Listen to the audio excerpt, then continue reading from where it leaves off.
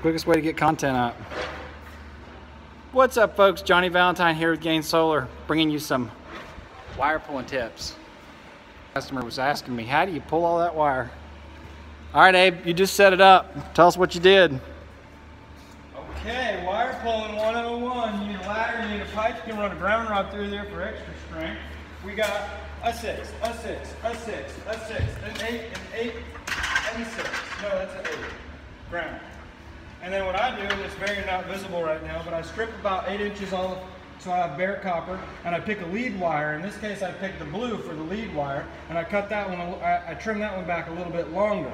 And all the other subsequent wires hang off of that one. And then I tie myself a good strong figure eight and whatever I'm pulling, whether it's mule tape or in this case well rope, and um, loop that through there, give it a good twist, and then do what's called a daisy chain, where I bend the lead wire up, and then I hook my next wire.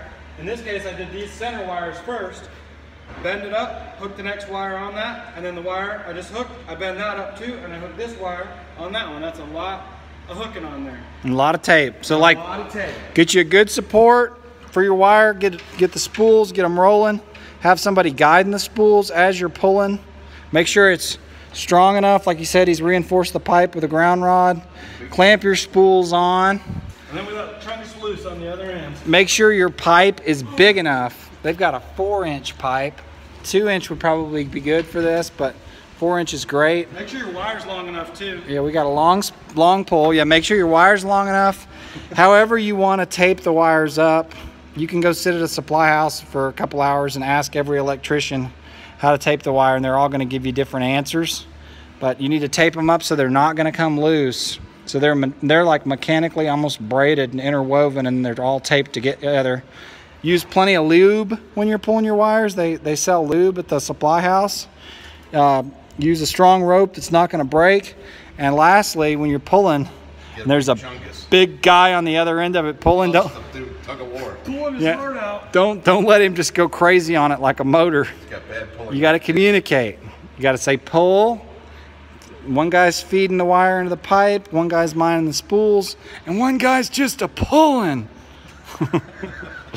so those are some keys to a good pull. I'm sure. All complain because they didn't see the awesome job that Abraham did on the daisy chain because that's critical. How that that's the most critical part of that.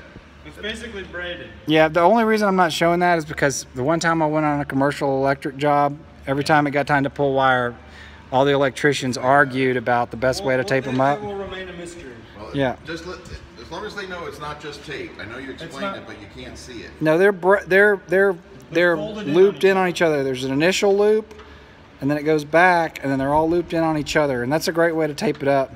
That's a southeastern style Sundance pull.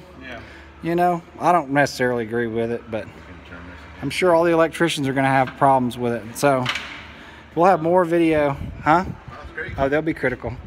So you can see that pipe's even sagging a little bit with the weight of the wire. Do we want to throw the ground rod through it? I got a ground. Oh, it is in there? Dang. So. Start pulling. Start pulling, folks. Big enough conduit. Those are my tips. Johnny Valentine with Gain Solar, shining out.